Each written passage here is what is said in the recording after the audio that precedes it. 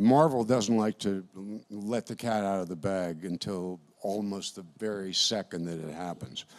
Um, I knew I was going to be playing the same character, and um, I got to to town, uh, and they told me I was working three days for the first month, and then I was going to be doing one 16-hour day after another. We shot the whole thing. f- It took six months to shoot the one season.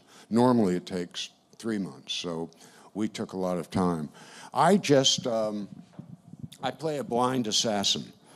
Uh, so the the kind of the great gift that this show gave me, because I only worked three days for the first month, was I signed up for a martial arts class uh, at a place called Anderson's Martial Arts Academy, and wound up working doing privates with uh, Sifu Dan Anderson, learning um, Filipino and Indonesian forms of of knife fighting.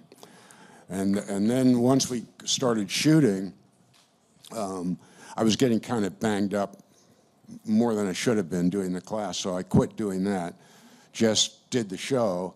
But now I'm back in town and I don't have any call sheets, and nobody can tell me what the fuck to do. so I was Banged up again? I was at Anderson's the day before yesterday. I'm going to be there tomorrow, and uh, I just love it.